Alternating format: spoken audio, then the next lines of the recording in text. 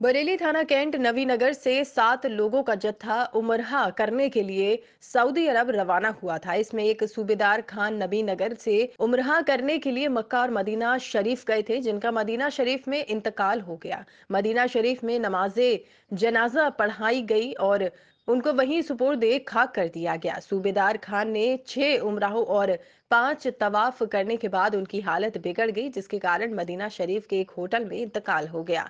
किस्मत वाले होते हैं जिनका इंतकाल मक्का या मदीना शरीफ में होता है। लोग दुआ करते हैं कि हमारी मौत आए तो मदीना शरीफ की गलियों में आए। सूबेदार खान किस्मत वाले थे जिनका इंतकाल मदीना शरीफ में हुआ।